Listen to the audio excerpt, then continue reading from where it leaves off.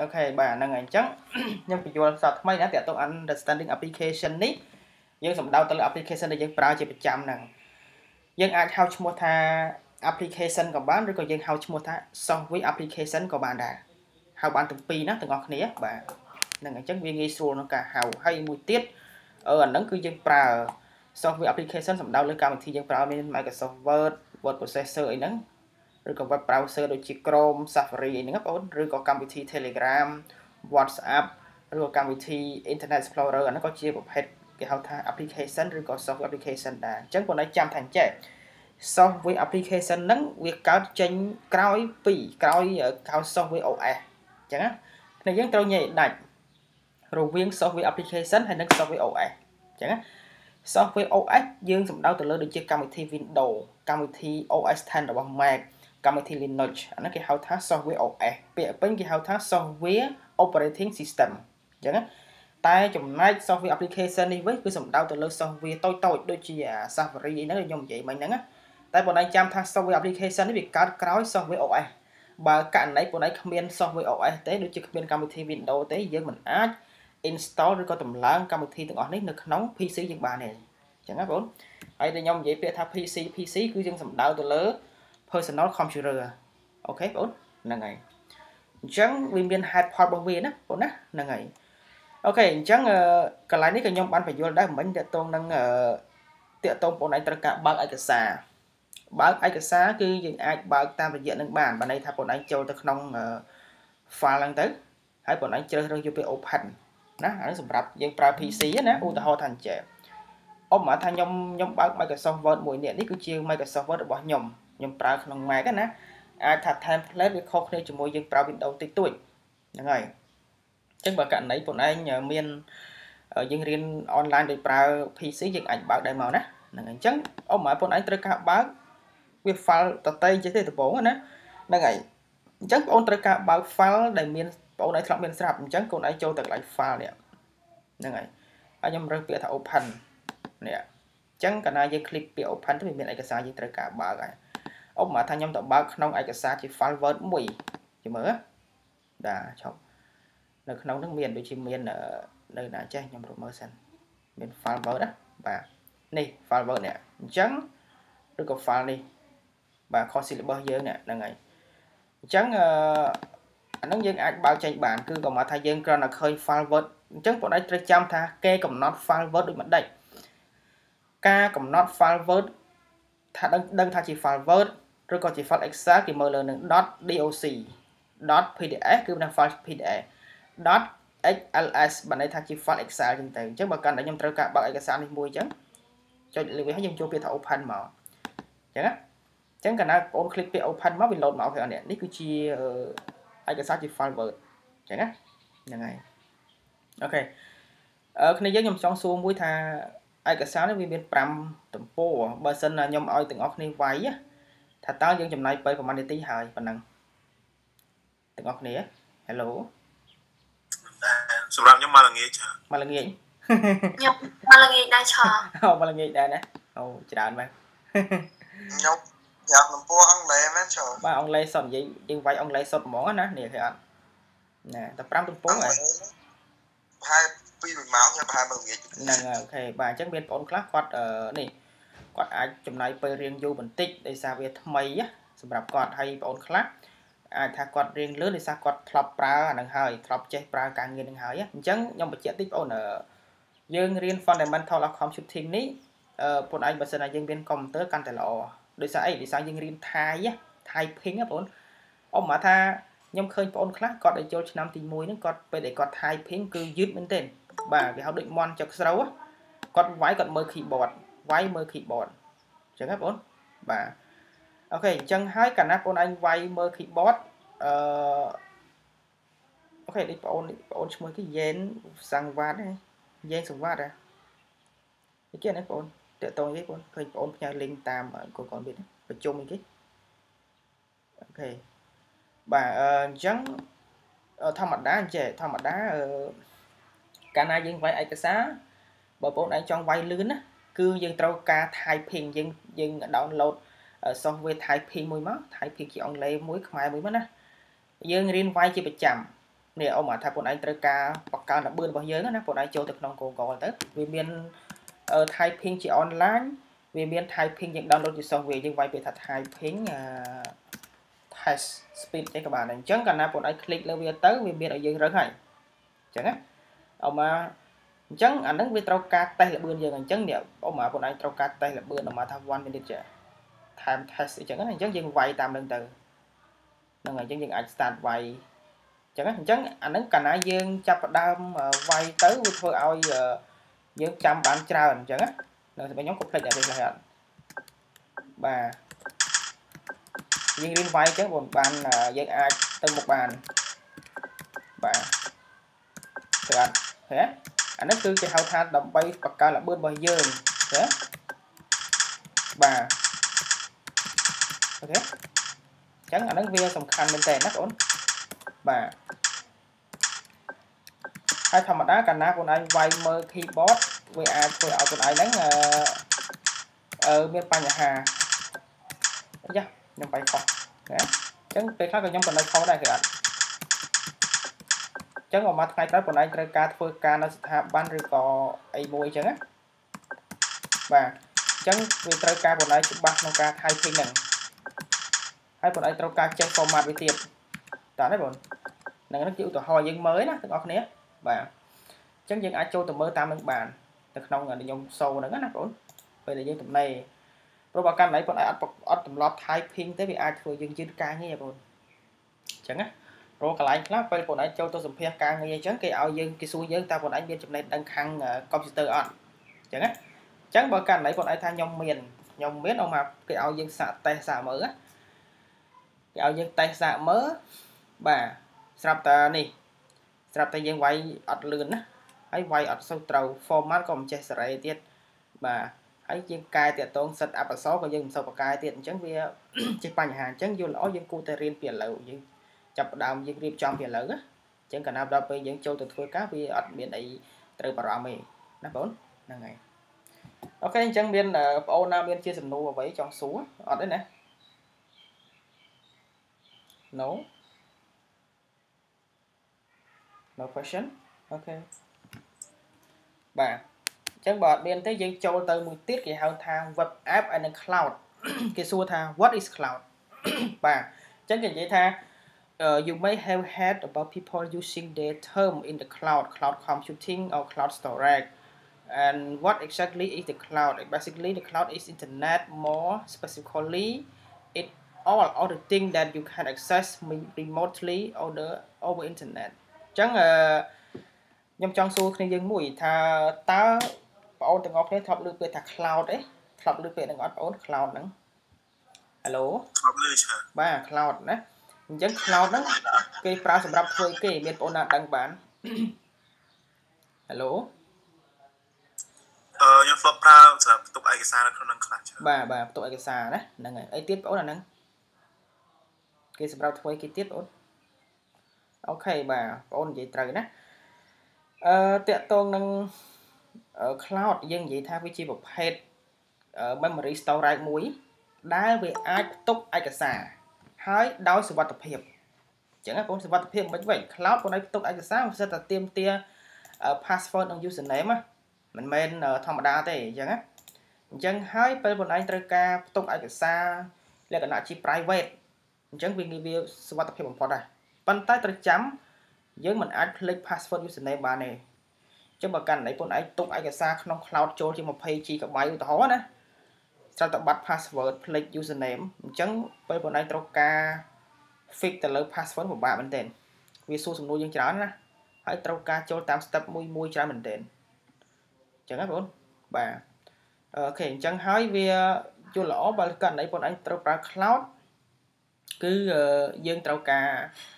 ចាំទៅលើ password និង username អញ្ចឹងនិយាយរួមទៅ cloud មានពីរប្រភេទគេហៅថា cloud computing អញ្ចឹង cloud storage បាទ cloud storage និង cloud computing នេះចេះបកករណីថា cloud computing សំដៅទៅលើដូចជាបងក្នុង mail ណាបងក្នុង mail បាទក្នុង telephone ក្នុងបណ្ដាញផ្សេងផ្សេងណាយើងអាចផ្ទុក storage នៅលើនឹងបានដូចជាក្នុង email នេះប៉ុន្តែអាចផ្ទុក storage បានប្រើ cloud បានតាដូចជាក្នុង smartphone របស់យើងក៏យើងអាចប្រើ cloud ក្នុងការរក្សា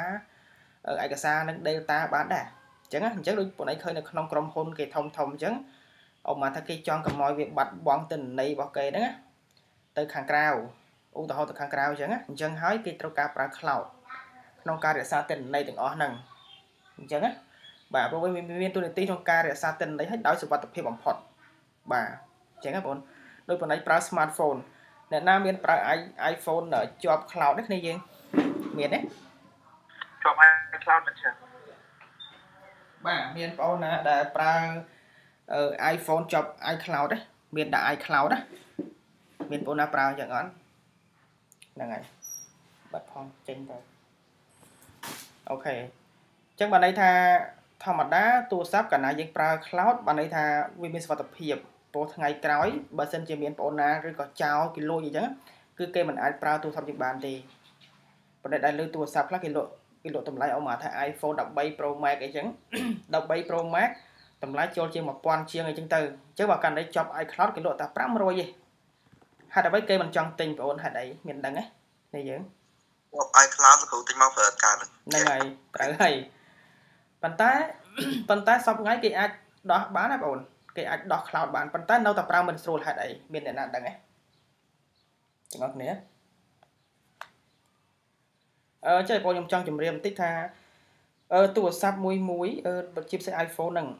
បើកាលណីបងឯងប្រើ cloud ហើយហើយបើកាលណីគេលួចបាត់ឬក៏បងឯងភ្លេចអញ្ចឹងអញ្ចឹងពេលដែលបងឯងលក់ទៅក្នុងក្រុមហ៊ុនគេមិនសូវចង់ទិញទេដោយសារអីដោយសារវាជាប់ iCloud ណាអញ្ចឹងកាលណាជាប់ iCloud បានន័យថាវាជាប់នៅលេខកូដសម្ងាត់អញ្ចឹងបានន័យថាតើម្ចាស់ដើមបានអាចដោះវាបានទៅចុះបើករណីម្ចាស់ដើមភ្លេចអាហ្នឹងវាពិបាកដែរអញ្ចឹង តែធម្មតាសពថ្ងៃ iCloud គេមិនសូវប្រើ password ទេគេប្រើ scan កាយ៉ាវដៃឬក៏ scan មុខអញ្ចឹងវាអត់សូវជាបញ្ហាយើងត្រូវចាំទេបាទអញ្ចឹងវាងាយស្រួលប៉ុន្តែខ្ញុំចង់និយាយថាចេះទូរស័ព្ទបើសិនតែចប់ iCloud គេមិនសូវទិញដោយសារដោយសារទី1វាប្រើអាកាសហើយបើករណីទូរស័ព្ទនឹងអាចដោះ iCloud បានក៏វាពិបាកប្រើដែរវាអត់ដូចអាអាមិនចប់ចង់និយាយអញ្ចឹងបងវាមិនខុសពីពួកឯងជិះម៉ូតូអញ្ចឹងអូមកថាម៉ូតូយើងអឺ ទឹកបន្ទិញថ្មីជ្រើងមិនដែលបែកសោះមិនដែលបែកកង់សោះអាហ្នឹងវាជិះស្រួលតែបើករណីម៉ូតូខ្លះអមកបែកកង់ពីរបីដងហើយគេប៉ះពីហើយជិះសាថ្មីអញ្ចឹងចង់និយាយថាបើករណីយើងជិះក៏វាអត់សូវសុវត្ថិភាពដូចអាម៉ូតូគេមិនដែលបែកកង់សោះដែរមិនអញ្ចឹងហ៎ត្រូវហើយបងហ្នឹងហើយ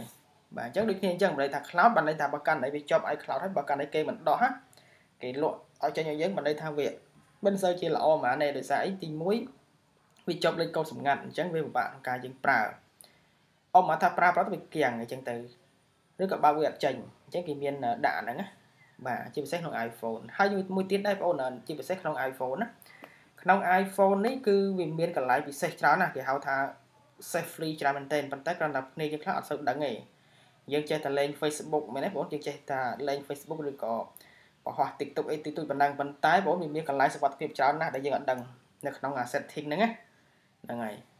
បើសិនជាមានពេលខ្ញុំនឹងប្រាប់ថាតើកន្លែងសុវត្ថិភាពអីខ្លះហើយទូរស័ព្ទបងធម្មតាចេញខ្ញុំចង់បញ្យល់បន្តិចទាំងអស់គ្នា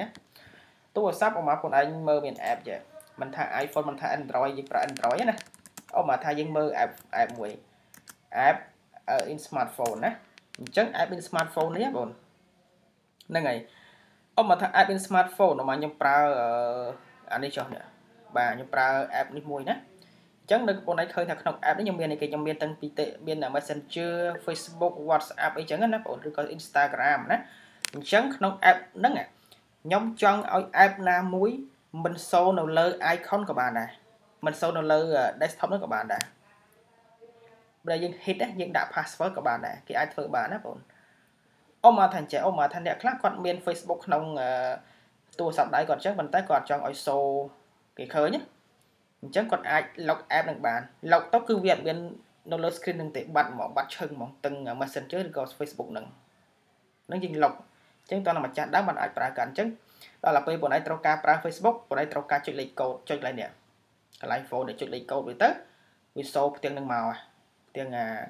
app នឹងមកវិញអញ្ចឹងណាតែគ្រាន់តែអ្នកខ្លះគាត់មិនសូវដឹងអ្នកខ្លះគាត់ដឹងដែរតែពេលច្រើនណាអញ្ចឹងអញ្ចឹងល្បិចដោយសារអ្នកខ្លះដូចបង អូនខ្លះអាហ្នឹងនិយាយមិននេះណាអ្នកខ្លះគាត់មានដៃគូច្រើនសង្សារច្រើនអញ្ចឹងក៏ខ្លាចអូមកទៅផ្ទះសង្សារទៅខ្លាចគេមើលដឹងសារអីចឹងណាសារសម្ងាត់អីចឹងណាអញ្ចឹងគាត់មានឡុកអាហ្នឹងគាត់ hit អាហ្នឹងទៅដល់ដល់ពេលអ្នកណាមកឆែកទូរស័ព្ទគាត់អត់មានឃើញទេណាហ្នឹងហើយបាទមានអត់មានតែតែតែ បាទបងត្រូវម៉ាត់នោះគ្រូត្រូវម៉ាត់នោះហ្នឹងហើយត្រូវម៉េចណានិយាយមិនមែននាំគ្នាយើងខូចទេតែគ្រាន់តែវាអាចលុបបានចង់និយាយចេះអូមកថាក្នុង social media នេះបងឯងមាន Facebook មានទាំង Twitter មានទាំងស្អីអញ្ចឹងណា WhatsApp អញ្ចឹងបងឯងអមក WhatsApp បងឯងមានអីសម្ងាត់អីណាជាមួយអ្នកណាផ្សេងអញ្ចឹងខ្លាចអឺសង្សារយើងដឹងឬក៏ប្រព័ន្ធប្រព័ន្ធដឹងអញ្ចឹងណាគេអាច hit បាននេះ hit បាច់ទៅគឺអត់មាន load សូតសូតនៅក្នុង screen អញ្ចឹងទេតោះណាបងឯងត្រូវការបើក បងឯងចុចដេកកូដនេះចុចកន្លែងអាកន្លែង home មកខ្ញុំប្រាប់មិញហ្នឹងណានេះអាកន្លែង home ហ្នឹងទៅគេឲ្យយើងវាយលេខកូដវាយលេខកូដ4ខ្ទង់ទៅវាចេញមកផ្ទាំង app ដែលយើង log ហ្នឹងហើយអញ្ចឹងណាហ្នឹងហើយអញ្ចឹងវាមានយើងអាចដាក់បានទាំងប្រភេទទូរស័ព្ទ Android និងប្រើនឹង iPhone បានទាំងពីរអញ្ចឹងណាហ្នឹងហើយតែបើសិនជាគ្នាយើងអ្នកណាដែលចង់ដឹងអាចឆាត់មកខ្ញុំផ្ទាល់ខ្ញុំអត់ប្រាប់ឥឡូវទេណាភាសាយើងខាត់ពេលបាទហ្នឹងហើយអញ្ចឹងវាមាននិយាយរួមទៅក្នុង smartphone ក៏វាមានកន្លែងពិសេសពិសេសច្រើនតែគ្រាន់យើងមិនសូវដឹង ហ្នឹងហើយយើងអាចនិយាយរួមទៅវាមានច្រើនមែនទែនកន្លែងដែលវាអាចប្រើជំនួយយើងច្រើនណាប៉ុន្តែដោយសារយើងអត់សូវដឹងយើងគ្រាន់តែចេះថតមកថតរូបលេង Facebook ផ្ញើឯកសារផ្ញើ voice ផ្ញើជាវីដេអូអញ្ចឹងតែពិតវាមានលើសនឹងទៀតបងនិយាយលើ smartphone ណាព្រោះអីសប្តាហ៍ថ្ងៃនេះបងឯងចាំថាអញ្ចេះរបស់តែកាលណាវាអាប់ដេតវាមានកន្លែងពិសេសពិសេសខ្លាំងជាងហ្នឹងហើយតែគ្រាន់តែយើងមិនសូវបានស្រាវជ្រាវយើងអត់ដឹងទេយើងគិតថាមានតែបណ្ដាលបណ្ដាលតែពិតមិនមែនទេវាមានលើសនឹងទៀតបាទអញ្ចឹងណា ហើយ smartphone យើងដឹងណាពីមុនអឺសម័យមុនអង្កលដែល10ឆ្នាំមុនវាមាន iPhone 4 iPhone 3កាលនោះដូចជាអត់តន់មានអឺយើងអាច search location បានទេ location អ្នកប្រើប្រាស់ហ្នឹងហើយប៉ុន្តែឥឡូវយើងអាច search ទាំង location បានទៀតហ្នឹងហើយដោយសារយើងបើក location ទៅយើងអាច search ដឹងណាហ្នឹងហើយពីមុនយើងមិនអាច search ជា location បានទេណាបាទអញ្ចឹងខ្ញុំបញ្ជាក់ងាកមកវិញណាអឺតកតងនៅ cloud computing នេះអឺ សំដៅទៅលើតកតងការដែលយើង storage គឺជា memory storage មួយ ដែលយើងផ្ទុកឯកសារហ្នឹងក៏មានសុវត្ថិភាពបំផុតអញ្ចឹងណាបាទហើយធម្មតាអាហ្នឹងធម្មតាវាមាន cloud storage គឺបានន័យថាអាហ្នឹងវាអាចផ្ទុកដោយយើងមិនចាំបាច់ប្រើអ៊ីនធឺណិតប៉ុន្តែបើសិនករណីប៉ុណ្ណេះប្រើ cloud computing ប៉ុណ្ណេះមាន cloud computing អាហ្នឹងប៉ុណ្ណេះត្រូវការប្រើអ៊ីនធឺណិតបានយើងអាចផ្ទុកឯកសារបានអញ្ចឹងណាបងហ្នឹងហើយដូចមកប៉ុណ្ណេះផ្ទុកឯកសារក្នុង Drive យើងអញ្ចឹងណា Drive Google គ្នាយើងអាហ្នឹងប៉ុណ្ណេះផ្ទុកក្នុងឯកសារ Google Drive បានលុះត្រាតែប៉ុណ្ណេះត្រូវការ access internet បានយើងអាចផ្ទុកឯកសារនឹងបានឬក៏ប៉ុណ្ណេះអាច log ជា password កុំឲ្យគេបើកឲ្យបានណាតែបើកន្លែង internet យើងអត់មានយើងមិនអាច connect បានទេវាខុសពី cloud storage អញ្ចឹងបងដោយបងឯងត្រូវចាំនិយាយដាច់ពាក្យពីរហ្នឹង cloud computing សំដៅទៅលើការផ្ទុកឯកសារដែរនៅក្នុង Drive ដែលយើងត្រូវការ access internet អញ្ចឹងណាតែបើករណី cloud storage សំដៅទៅលើការផ្ទុកឯកសារសុវត្ថិភាពដែរប៉ុន្តែវាផ្ទុកក្នុងទូរស័ព្ទឯប៉ុណ្្នឹងឯងអញ្ចឹងអានឹងអត់ត្រូវការអ៊ីនធឺណិតទេ cloud storage ណាតោះនេះបងបាទដូចយើងប្រើ iPhone នេះបងអាចប្រើ cloud បាទអានឹងអត់ត្រូវការនេះទេ connect អីច្រើនទេអញ្ចឹងណាបាទបើន័យថាយើង connect តែម្ដងវាចូលអូតូហ្មងបាទហ្នឹងហើយអញ្ចឹងបាទអញ្ចឹងវាអាចវាមានច្រើនបងប្អូននឹងឃើញមើលរូបភាពនេះសំបីតែក្នុង cloud storage ហ្នឹងគឺ ប៉ុន្តែអាចផ្ទុកដូចជា photo ឬក៏ video បាទឬក៏ service អីចឹងផ្សេងផ្សេងវាមានច្រើននៅក្នុងហ្នឹងណាឬក៏ជា data អីសំខាន់សំខាន់ណាហ្នឹងគេអាចផ្ទុកបានណាហ្នឹងអញ្ចឹងវាមានខាងហ្នឹងអូខេអូខេគេសួរថា why use the cloud បាទអញ្ចឹងខ្ញុំងាកសួរមកយើងវិញថាហេតុអ្វីបានយើងត្រូវការប្រើ cloud មានបងប្អូនណាឆ្លើយបានណានេះយើង Hello Hello ទាំងអស់គ្នា ហេតុអ្វីបានយើងត្រូវការប្រើ cloud ដើម្បីផ្ទុកឯកសារដែលមានសុវត្ថិភាពច្រើនអូខេបាទសម្រាប់ផ្ទុកឯកសារផ្ទុកទិន្នន័យឲ្យមានសុវត្ថិភាពអញ្ចឹងណាវាកោការពារហានិភ័យចង់និយាយចេះបងហ្នឹងហើយបាទអញ្ចឹងវាបើយើងនិយាយថាលោកគ្រូច្បាស់ថាទុកក្នុង cloud វាសុវត្ថិភាព100%មិនច្បាស់ទេប៉ុន្តែបើយើងនិយាយគិតជាភាគរយការផ្ទុកក្នុង cloud ហើយនឹងការផ្ទុកដោយមិនបានប្រើ cloud វាអាចថាផ្ទុកក្នុង cloud វាសុវត្ថិភាពជាងចូលទៅ90 90%ជាង 90%ជាងអញ្ចឹងណាបាទអញ្ចឹងវាវាសុវត្ថិភាពជាងខ្ញុំចង់និយាយអញ្ចឹងណាវាមិនខុសពីយើងសន្សំលុយទេបងអមថាខ្លួនឯងសន្សំលុយក្នុងធនាគារនិងសន្សំលុយនឹងខ្លួនផ្ទាល់ណាអញ្ចឹងបើតាមការសិក្សាស្រាវជ្រាវគេថាអញ្ចឹងដូចការសន្សំលុយបើសិនប៉ុណ្ណឹងសន្សំលុយនៅធនាគារវាអាចសុវត្ថិភាពជាងសួរថាតើវាអាចហានិភ័យមានហានិភ័យដូចគ្នាប៉ុន្តែគ្រាន់តែមួយហានិភ័យតិចជាងមួយច្រើនជាងប៉ុណ្ណឹងបើបងឯងសន្សំលុយនៅផ្ទះវាអាចទីមួយខ្លាច ភ្លើងឆេះឬក៏ចោលប្លន់ឬក៏មានបញ្ហាអីមួយកណ្ដោបកន្លាតវាកាត់អីចឹងណាហ្នឹងហើយបើកណ្ដីប៉ុណ្ណឹងសន្សំនៅធនាគារយើងអាចដកពេលណាក៏បានដាក់ពេលណាក៏បានតែគ្រាន់តែអាហ្នឹងវាកាលណាយើងយកលុយទៅសន្សំជាមួយគេអឺនេះហើយគេត្រូវការយកមួយឆ្នាំថ្លៃការពន្ធប្រហែលអញ្ចឹងណាវាតិចតួចតាមហ្នឹងទៅហើយបើកាន់ន័យថាធនាគារដួលឬក៏ធនាគារដែលវាមានចោលប្លន់ធនាគារក៏គេមានសាខាគេមាន campus គេនៅផ្សេងអញ្ចឹងគេអត់មានអីត្រូវបាត់លុយយើងដែរអញ្ចឹងណាបង ហ្នឹងវាមួយយ៉ាងម្នាក់ហ្នឹងហើយហ្នឹងវាវាមួយយ៉ាងម្នាក់ខ្ញុំចង់និយាយអញ្ចឹងណាបើរឿងសុវត្ថិភាពអាចថាវាសុវត្ថិភាពអឺដូចគ្នាប៉ុន្តែគ្រាន់តែមួយវាសុវត្ថិភាពជាងអាមួយមិនសូវសុវត្ថិភាពជាងប៉ុណ្ណឹងឯងបើយើងធៀបគ្នាជាមួយអាដូចការសំលុយហ្នឹងហើយអូខេអញ្ចឹងវាប៉ុណ្ណឹងឥឡូវយើងមើលមួយទៀតតាក់ទងនឹង web app បាទអញ្ចឹង web app គឺសំដៅទៅលើដូចជានេះបងប្អូនកម្មវិធីយើងប្រើហ្នឹងដូចជាកម្មវិធី Gmail បាទអញ្ចឹងបងឯងឃើញ Gmail ណាហ្នឹងហើយបាទកម្មវិធី Gmail ហ្នឹងបងឯងឃើញថាវាមាន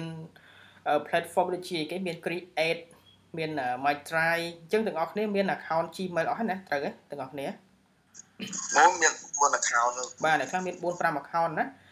អឺចេះបង Gmail ដូចសាចេះបងឯងឃើញខ្ញុំចង់និយាយបន្តិចកន្លែង Gmail ហ្នឹងបាទអញ្ចឹងបងឯងឃើញ Gmail ទេថាធម្មតា Gmail account ណា បាទឥឡូវខ្ញុំបើកឲ្យយើងមើលតិចទៅ Gmail តិចបាទអូខេ .gmail.com របស់ខ្ញុំណាបាទអញ្ចឹង Gmail របស់ខ្ញុំនេះបងឯងមើលចំនួន store ឲ្យវាធំអញ្ចឹងបានខ្ញុំនេះណាបាទគឺអត់បាទអញ្ចឹង Gmail របស់ខ្ញុំនេះបាទវាមាននេះវាមានច្រើនឃើញអត់សារវាមានច្រើនហើយក៏មាននេះដែរទាក់ទងនឹង storage ក៏ច្រើនដែរអញ្ចឹងអញ្ចឹងហើយវាងាយស្រួលឃើញ ឃើញ Gmail ធម្មតាកាលណាយើងកាលណាយើងផ្ញើទៅវាឆាប់ចូលទៅគេចង់និយាយអញ្ចឹងណាបងតោះនេះគ្នាយើងហ្នឹងហើយហើយមួយទៀតអឺបើសិនជាយើងប្រើ Yahoo មានបងអូនណាធ្លាប់ដឹងពីក្រុមហ៊ុន Yahoo គ្នាយើងមានដែរស្គាល់ទេទាំងអស់គ្នា Hello អត់ផងច្រើនតែយើងគួរឆើតែអត់ស្គាល់ផង តែជាអត់ស្គាល់ទេយើងដោយសារយើងចំនួនក្រោយនេះ Yahoo ណៃឲ្យពាក្យថា Yahoo ឈ្មោះ Yahoo គឺជាក្រុមហ៊ុន email ទេនេះ Yahoo គេអត់នេះ Yahoo តាមពិតល្បីមុនគេបងមិនមែន Gmail ហ្នឹងទេបងខ្ញុំធ្លាប់ប្រើហ្នឹងដល់គ្រូតាំងពី10ឆ្នាំហ្នឹងហើយ10ឆ្នាំមុនជាងតែឥឡូវហេតុអីគេមិនសូវប្រើមានដឹងទេហើយដើម្បីបានគេលែងសូវប្រើវាបាទសម័យចឹង ហួសសម័យតាមពិតទៅមិនហួសសម័យទេដោយសារអញ្ចេះបងខ្ញុំបញ្យល់ដឹងណាដូចខ្ញុំបញ្ជាក់ចឹងថាក្រុមហ៊ុនអឺកាលណាយើងគ្មានអ្វីដែលការអាប់ដេតគ្មានអ្វីប្លែកគ្មានអ្វីដែលមើលទៅតាក់ទាញដល់ភ្ញៀវដល់ client ណាអញ្ចឹងគេលែងសូវប្រើហើយបងតាមពិតណាពីដំបូងដល់ដូចខ្ញុំវិញខ្ញុំត្រូវការ call ទៅមិត្តភ័ក្ដិខ្ញុំ call ទៅគ្រូខ្ញុំនៅក្រៅប្រទេសខ្ញុំត្រូវការ call តាម Yahoo ទៅពីមុនណាហ្នឹងហើយអញ្ចឹងខ្ញុំទៅសម័យហ្នឹងមិនមែនពួកឯងត្រូវការ ទិញ Wi-Fi អត់ទេពួកឯងត្រូវទៅកន្លែង net គេហ៎បង1ម៉ោង1500សម័យថ្លៃទេតាហ្នឹងហើយ1ម៉ោង1500យើងឯងបាទបងហ្នឹងហើយហ្នឹងហើយសម័យហ្នឹងអញ្ចឹងសម័យហ្នឹងពួកឯងត្រូវការបើក Yahoo ត្រូវណាត់គេទៀតថាជួបគ្នាម៉ោងប៉ុណ្ណេះប៉ុណ្ណេះអមមកថាយើងឥឡូវម៉ោង8:56គេនោះម៉ោងប្រហែលម៉ោង10ជាងអញ្ចឹងវាម៉ោងខុសគ្នាទៀតណាទៅណាត់គ្នាទៀតអាហ្នឹងណាបាទហើយអឺពិបាកមែនតើទៅពិបាកទៀតទៅពិបាកផ្ញើសារអមមកផ្ញើសារទៅអញ្ចឹងផ្ញើសារមួយអាទិត្យបានតបមួយអាទិត្យជាងបានតបអញ្ចឹងវាពិបាកញ៉ៃញ៉ៃហើយមួយទៀតអា Yahoo នេះអត់បានទេ Yahoo នេះផ្ញើតាមមិនតាមមិនស្រួលហ្នឹងអត់ទៅទៀតវាអត់វាអត់សិនទៅគេខ្ញុំចង់និយាយចេះអមមកខ្លួនឯងផ្ញើ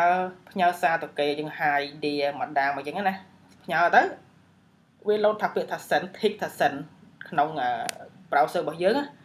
ប៉ុន្តែដល់ទៅពេលខាងគេនោះគឺមើលអត់ឃើញហ្មងអត់ឃើញផ្ញើមកទេអញ្ចឹងវាខូចអញ្ចឹងអញ្ចឹងបាត់គេលេងប្រើសារអញ្ចឹងតា បាទបើក្នុងក្នុង Gmail មិនខ្ញុំសូមក្នុង Gmail មិញ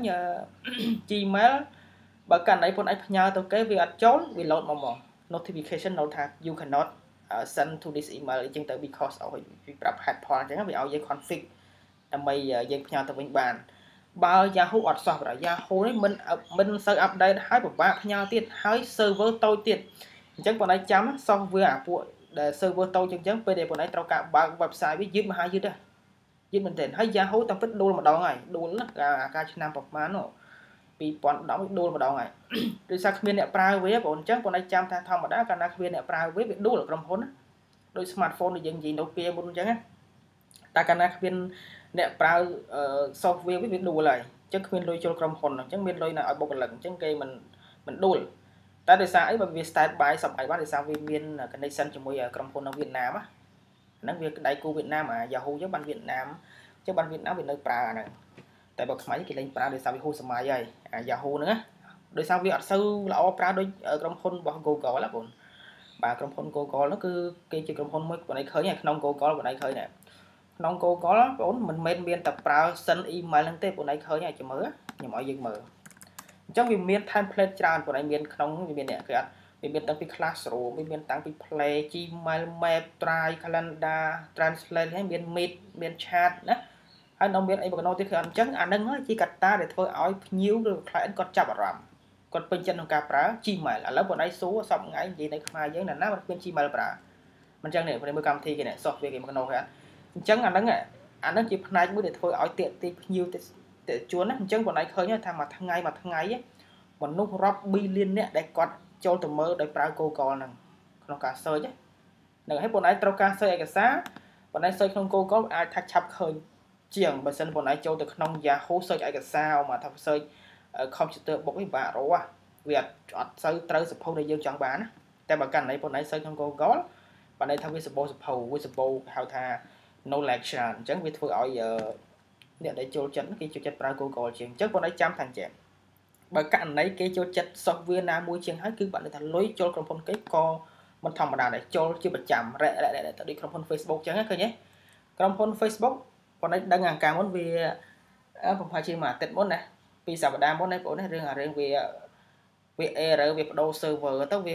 វាគៀងហ៎បងឯងចាំហ៎នេះយើងតែ Mark Zuckerberg ប្រកាសក្នុង social media ថាគៀងពីម៉ោងប៉ុន្មានដល់ម៉ោងប៉ុន្មានណាបងចាំអត់ហ្នឹង Hello អានមកគ្រូចាហ្នឹងហើយអញ្ចឹងគាត់ឲ្យឃើញថាគ្រាន់តែខូចគ្រាន់តែវា error ប្រហែលម៉ោងវាខាត់ដោយប្រហែលលានដឹងហ្នឹងបងបងមានបងណាចាំទេថាអញ្ចឹងអត់បានទេណាបងពួកដែលធ្វើអាហ្នឹងនឹងបានសឹងមិនធម្មតាសិតតែគេមានលុយច្រើនណាអញ្ចឹងមកគេខ្លាចជាគេហៅមកសិទ្ធិហ្នឹងហើយដូច Mark Zuckerberg ដូចជាគេក្រុមហ៊ុន Google នេះគឺអត់បាទអញ្ចឹងសិតតែឃើញអត់អញ្ចឹងកត្តាកាលណាគេមានរបស់គេប្រើច្រើនកើតអញ្ចឹងអ្នកណាមិនប្រើមិនចង់ប្រើមិនអញ្ចឹង ដោយក្រុមហ៊ុន Yahoo វាបានតែអីវាបានតែទី1បាច់មើលព័ត៌មានបាន ទី2អាច call video បាន ទី3អាចទៅសេអ៊ីមិនបានប៉ុណ្ណឹងអញ្ចឹងវាមានអីច្រើនដូចគេឥឡូវបងឯងមើលគេនេះមើលក្រុមហ៊ុន Google មានមកកណោហ្នឹងវាច្រើនគេអញ្ចឹងវាមានតាំងពីដាក់ត្រាឲ្យត្រាយ free 5 10G ទៀត free នេះ5 10G កបាយហ្នឹងឃើញទេអញ្ចឹងបងឯងឃើញគេឆ្លាតគេរកលុយមិនឥឡូវខ្ញុំបញ្យល់បងឯងអូម៉ាត្រាយនេះយើងដឹងហើយទាំងអស់គ្នាណាថាអូម៉ាថាត្រាយ បាទឥឡូវខ្ញុំបើកឲ្យយើងមើលត្រាយមួយណាចប់អូខេអមកបើកយើងបើកត្រាយបាទចាំមើលអាយ៉ា sorry ច្រឡំបើកអានេះ easy print ចប់បាទអញ្ចឹងយើងយើងយើងវិភាគតាមនឹងណាបងប្អូនយើងរៀនយើងត្រូវការវិភាគយើងត្រូវនេះយើងត្រូវមើលអ្វីដែលវាពិតពិតណាមុខវិជ្ជាហ្នឹងណាឥឡូវមកថាខ្ញុំត្រូវការបើកត្រាយបងមើលត្រាយគេអាហ្នឹងក្នុងក្រុមហ៊ុន Google ណា បាទអញ្ចឹងក្នុង try Google នេះអឺវាមាន បាទចង់និយាយថាវាមានអឺវីដេអូបាទវាមានចង់និយាយថាយើងអាចផ្ទុកបានដល់ទៅ 15GB ឃើញទេបងនេះនេះជាវីដេអូខ្ញុំបរៀនថ្នាក់មុនមុនទេអញ្ចឹងធម្មតាវាអាចផ្ទុកដល់ 15GB ក្នុង Google Drive អញ្ចឹងឃើញវាល្អប្រើហ្នឹងហើយវា free ហ្មងហើយកុំភ័យរឿងមេរោគអីសោះព្រោះអីក្នុងអា ក្នុងអា 5 10 GB វាមានគេហៅថា antivirus software ចាប់អស់ហើយប៉ុន្តែត្រូវការ upload ប្រមាណប្រមាណ G ឲ្យតែគ្រប់ប៉ុណ្ណឹងក៏វាអត់មានមេរោគស៊ីដែរកុំភ័យសោះអញ្ចឹងណាហ្នឹងហើយអញ្ចឹងប៉ុន្តែឃើញឆ្លាតដែរមកថាក្នុងនោះខ្ញុំខ្ញុំខ្ញុំផ្ទុកវីដេអូចូលជាង 10G ជាងគេអត់ 10.45 GB អញ្ចឹងខ្ញុំសល់តែប្រមាណ G ខ្ញុំពេញហើយអញ្ចឹងបើករណីខ្ញុំត្រូវការបន្ថែម space ខ្ញុំទៀតខ្ញុំត្រូវការទិញទិញទិញទំហំផ្ទុកផ្ទុកនេះឃើញអត់ អញ្ចឹងបងឯងឃើញទេវាឆ្លាតវា free 15 GB ហើយវាឲ្យយើងត្រូវការទិញទៀតវាត្រូវយើងត្រូវការទិញ100 GB ទៀតឃើញទេបងឥឡូវបងឯងឃើញតម្លៃវាប្រហែល19.94ដុល្លារក្នុងមួយឆ្នាំ20ដុល្លារក្នុងមួយមួយឆ្នាំហ្នឹងហើយអញ្ចឹងបងឯងមើលទៅ20ឡានមួយឆ្នាំឥឡូវឥឡូវយើងនិយាយថាប្រទេសកម្ពុជាយើងមានអ្នកប្រើ Google Drive ហ្នឹងវាចូលជាង3 4លានអ្នកហើយឥឡូវសួរថា អ្នកទិញ space បន្ថែមនេះយើងនិយាយថាចេះចុះអ្នកដែលស្ពេញទិញ space ថែម3លានអ្នកអញ្ចឹងក្នុងមួយខែហ្នឹងមិនគេនិយាយថាម៉េចមួយខែបើកាន់អីបងឯងបងជាខែហ្នឹងបងឯងត្រូវចំណាយនេះនេះនេះចិត្ត2ដុល្លារឥឡូវថាថា2ដុល្លារចុះណាឥឡូវយើងគិតមើល3លានអ្នកបាទយើងទិញ space try 2ដុល្លារក្នុង 100 GB មកក្នុងមួយខែអញ្ចឹងថាតើក្នុងមួយខែនេះក្រុមហ៊ុន Google បានលុយពីប្រទេសកម្ពុជានេះប្រហែលលានដុល្លារគុណចេញទេបង Hello អមថាយើងយើងប្រើ3លានអ្នកប្រើយើងទិញអា storage នេះ3លានអ្នកអញ្ចឹងណាហើយក្នុង Google Drive មួយគេលក់2ដុល្លារអញ្ចឹងបងយក2ដុល្លារគុណ3លានហ្នឹងឃើញប៉ុន្មាន យក2ដុល្លារគុណ3លានឃើញប៉ុន្មានបងនេះយើងសាកគុណមើល Hello ឡើងប្រហែលហើយបាទបងឡើងមកបាទ6លានដុល្លារម្លេះសោះហ្នឹងមួយខែបងមួយខែ5លានដុល្លារជាមធ្យមប៉ុណ្ណឹងចុះអ្នកខ្លះគាត់ទិញអ្នកខ្លះគាត់មិនទិញអញ្ចឹងណាតើនេះបងហ្នឹងហើយចុះនៅថៃទៀត នៅថៃនៅសិង្ហបុរីនៅម៉ាឡេស៊ីនៅប្រទេសផ្សេងផ្សេងទៀតអស់មិនទេបងអញ្ចឹងគេមិនទិញដែរអញ្ចឹងបងឯងឃើញចំណូលក្រុមហ៊ុនចូលតាមហ្នឹងហ៎បងឃើញអត់ហ្នឹងហើយអញ្ចឹងគេរកតាមហ្នឹងបើថាគេធ្វើដូចនេះចឹងដូចចង់និយាយថាគេឲ្យយើងហ្នឹងប្រើរបស់ free ជាង 15GB សិនអញ្ចឹងប៉ុន្តែដល់ពេលបងឯងត្រូវការផ្ទុកឯកសារលើសពីហ្នឹងមិនត្រូវការថែមលុយអាហ្នឹងហើយគេរកលុយតាមហ្នឹងឯងគេអត់ណាអញ្ចឹងវាបានលើសច្រើនបងឯងឃើញថានៅ យើងនៅតំបន់យើងអត់សូវអ្នកទិញតែបើសិនថាក្នុងក្រុមហ៊ុនធំធំគេទិញហើយបងគេមិនស្ដាយលុយទេប៉ុណ្ណឹងប៉ុណ្ណឹងណា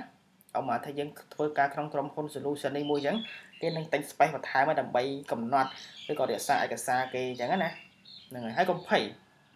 ឯកសារដែលបងឯងទុកក្នុងត្រៃរបស់ Google អត់មានបាត់តណាទេនៅនៅទាំងអស់អត់មានត្រឹកបាត់ទេអញ្ចឹងណាហ្នឹងហើយគ្រូខ្ញុំសួរមួយបានបាទបងអូនសួរមក Google អឺ Google យើងនឹងមិនប្រើ Gmail របស់យើងអញ្ចឹងបាទនៅក្នុង Google ហ្នឹងមានត្រៃអញ្ចឹងត្រៃហ្នឹងអត់ត្រូវការប្រើ Gmail ទៀតត្រៃហ្នឹងគេបងត្រៃត្រូវការប្រើតែបងត្រូវការទុកឯកសារបាទ Gmail យើងបងប្អូនចង់សួរថាម៉េចដែរសំណួរចង់សួរថាម៉េចនិយាយថា Google យើងត្រូវមាន email ដើម្បីបើកហ្នឹងហើយតែនៅក្នុង Google ហ្នឹងវាមានកម្មវិធី Drive ហ្នឹងគឺរបស់ Google បាទចុះ Drive ហ្នឹង Drive email ហ្នឹងទៀតអត់ទេ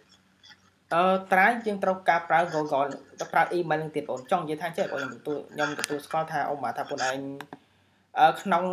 ក្នុង Google វាមាន try មែនវាមាន full software ឈ្មោះ try ដែលខ្ញុំសូមហ្នឹងប៉ុន្តែ try នេះអា try ហ្នឹងណាអឺបងឯងប្រើបាននៅពេលណានៅពេលដែលបងឯងមាន account email account Gmail ហ្នឹងតើមាន account Gmail ទៀតមិនមែន account Yahoo ណា account Gmail បានយើងមានសិទ្ធិប្រើ try ហ្នឹងកើតបើបងឯងគ្មាន account Gmail ទេយើងមិនអាចផ្ទុកឯកសារក្នុង try នេះបានទេវាមានតែរូបប៉ុន្តែយើងមិនអាចទុកបានចង់និយាយអញ្ចឹងណាបងវាទាមទារឲ្យយើងបង្កើត account Gmail អូខេហ្នឹងហើយបាទបាទអញ្ចឹងវាមាននេះវាវាឆ្លាតប្រយោជន៍ក្រុមហ៊ុនគេរស់ស៊ីអញ្ចឹងហើយបងអូនសួរថា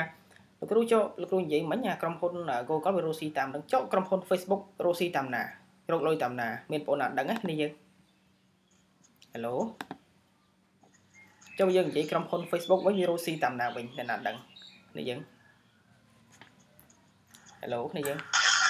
បាទគាត់រៀនតែឲ្យចុះគាត់ផ្សេងអូខេបាទហ្នឹងវាអាចរកតាមដឹងផងរកតាមអីគេទៀតបងអូនអ្នកណាដឹងតាមការបាទតើតោះការដែលយើង boot page ការ promote page មិនចឹងហ៎បងណាហ្នឹងហើយអូខេខ្ញុំឥឡូវខ្ញុំនិយាយតាក់ទងខ្លះខ្លះតាក់ទង Facebook Virosi តាមណាណា អូខេទី1ដែលក្រុមហ៊ុន Facebook Rosi បានដោយសារអីដោយសារទី1អមថាបងឯងត្រូវការដូចថាអ្នកធំធំអញ្ចឹងណាអ្នកធំធំធំតំណែងធំធំដូចជាអូខេ minister ឬក៏ស្អីផ្សេងអញ្ចឹងអញ្ចឹងគាត់ត្រូវការឲ្យគាត់ផែគាត់ល្បីគេឃើញច្រើនអញ្ចឹងបងឯងត្រូវការមានជាបាក់បាក់ចិត្តសម្រាប់ឲ្យ Facebook ទៅវាអាចធ្វើឲ្យឃើញជា public បានអញ្ចឹងវាអាចឃើញបាន ច្រើនគេ like គេ share បានច្រើន គេស្គាល់ page យើងច្រើនអញ្ចឹងណាទី2អឺក្រុមហ៊ុន Facebook អាចរកស៊ីបានត្រង់ថាទី1អមមកបងឯងយើងមាន Facebook មួយប៉ុន្តែយើងត្រូវការលក់កៅអៅលក់ទំនិញត្រូវទេអញ្ចឹងកាលណាបងឯងលក់កៅអៅលក់ទំនិញអញ្ចឹងអឺបងឯងមិនជឿបងឯងសាមជឿបងឯងលក់កៅអៅលក់ទំនិញណាបើបងឯងមិន boot page ទេ មិនគេហៅថាមិនគេហៅថាមិនប្រម៉ូត page ទេគ្មានអ្នកណាមើលអាចច្រើនទេយ៉ាងច្រើន8 9អ្នកឬ10អ្នកប៉ុណ្ណឹងបងឯងជឿសាយើងដឹងណាអ៊ំអ៊ំថាបងឯងហ្នឹងហើយបងឯងផុសរូបអ៊ំថាក្នុង profile យើងយើងបង្ហោះរូបម្ដងសិតតែ500 like មួយ k អញ្ចឹងណាឥឡូវសាបង្ហោះជារូបកៅអៅមើលមាន like មួយអ្នកយ៉ាងច្រើន50អ្នកហ្នឹងមកទៅហ្នឹងហើយហាត់អីដោយស្អី ដោយសារ Facebook ទី1វាអត់សូវឲ្យគេឃើញវាគេហៅថាវាវាចេះវាខូចវាចង់វាបិទណាវាមាន robot ចាប់គេហៅ robot ដែលចាប់តាក់ទងនឹងកាន់ន័យថាអ្នកណាដែលយក Facebook ធ្វើជាអាជីវកម្មវាមិនសូវឲ្យគេឃើញជា public ច្រើនទេអញ្ចឹងបើគេ like តិចហ្នឹងហើយអញ្ចឹងបើកាន់ន័យបងឯងរស់ស៊ីអារឿងចឹងចឹងបើកាន់ន័យចង់ឲ្យគេឃើញតោះណាប្រើលុយណាលុយប៊ូតទៅ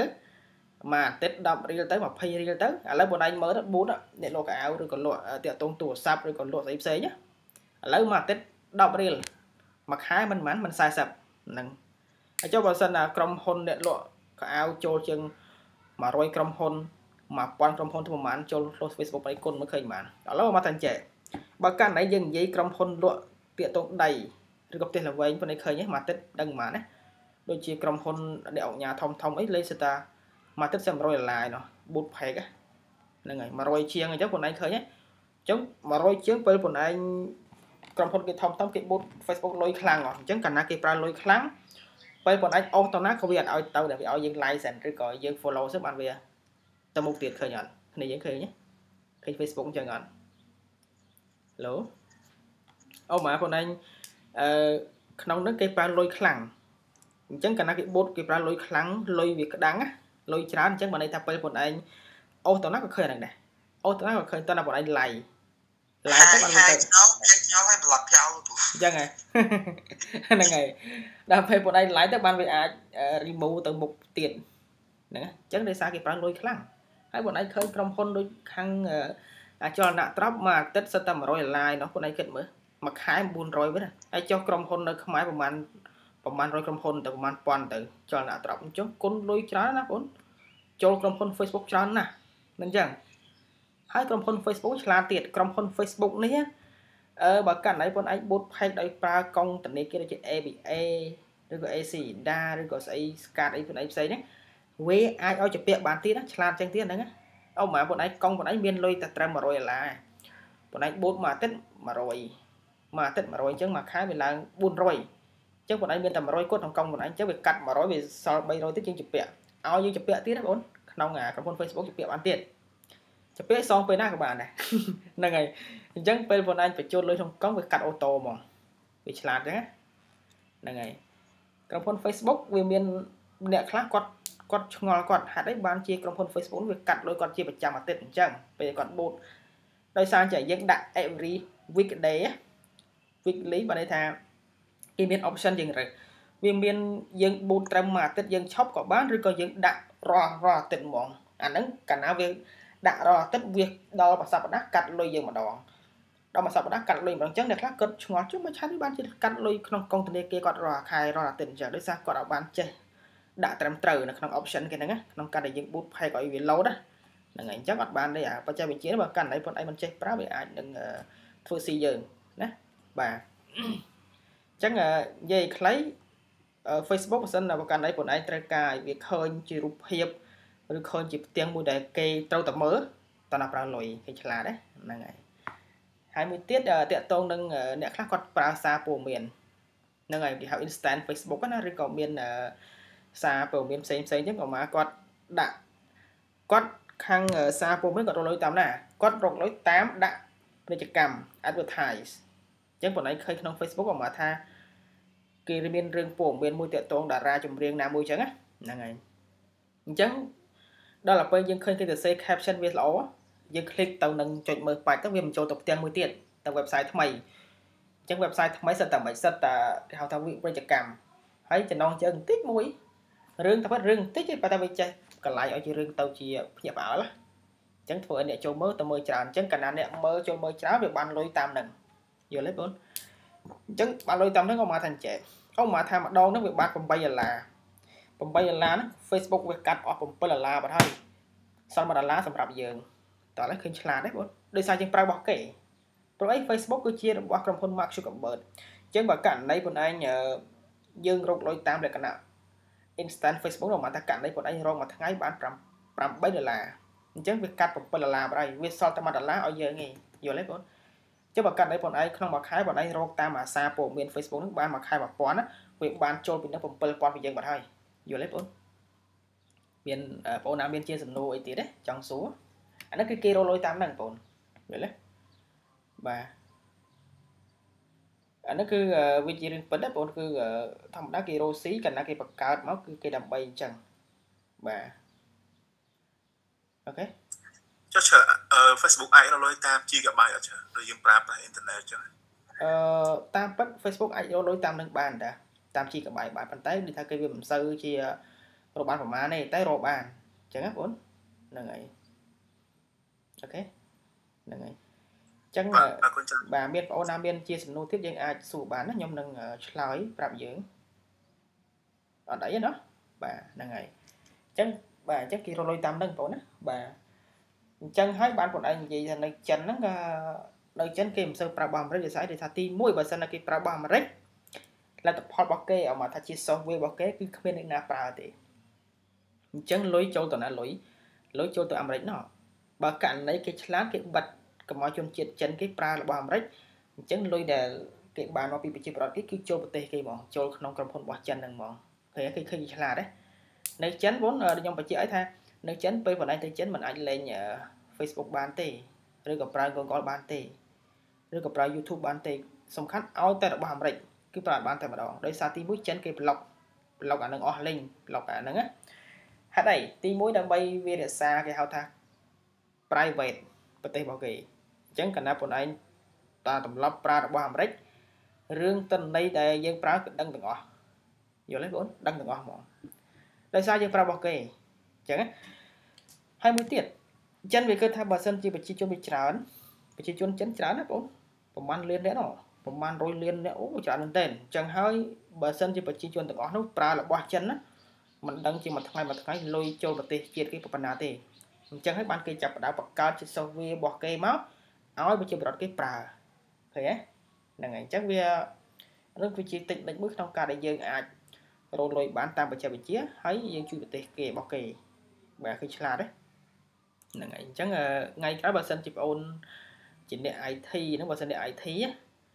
បងអាចបង្កើតជា software មួយមកសម្រាប់ប្រទេសកម្ពុជាយើងអញ្ចឹងកាលណាគេចូលទៅប្រើរបស់ខ្លួនឯងច្រើនលុយក៏បានចូលតាមនឹងដែរលុយជាងក៏បានច្រើនដែរអញ្ចឹងណាហ្នឹងហើយអញ្ចឹងវាអាស្រ័យទៅលើ software យើងធ្វើវាល្អឬមិនល្អ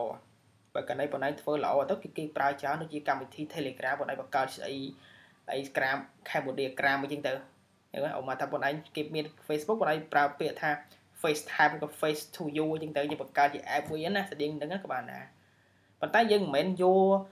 ដូចគេទាំងស្រុងទេបងយល់ទេបងយើងត្រូវមានគេហៅថាខុសគ្នាខ្លះតែបើកណៃបងឯង